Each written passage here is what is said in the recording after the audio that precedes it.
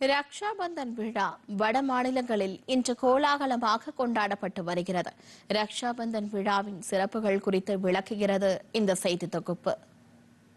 ஒவ்வொரு ஆண்டும் இதே நாளான ஆவணி பௌர்ணமி தினத்தில் சகோதர பாசத்தை வெளிப்படுத்தும் உன்னத திருவிழாவான ரக்ஷாபந்தன் விழா கொண்டாடப்பட்டு வருகிறது. அந்த வகையில் இன்று வட மாநிலங்களில் ரக்ஷாபந்தன் விழா கோலாகலமாக கொண்டாடப்பட்டு வருகிறது.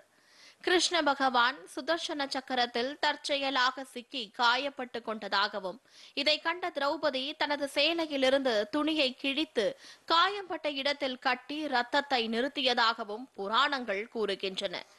அரக்கர்களை போரில் வீழ்த்த இந்திரருக்கு சக்தி வாய்ந்த ரக்ஷா என்னும் புனித கயிறை இந்திராணி தேவி கட்டியதாகவும் இதனை நினைவு கூறும் வகையில் இத்திருவிழா கொண்டாடப்பட்டு வருவதாக மற்றொரு கருத்து நிலவுகிறது.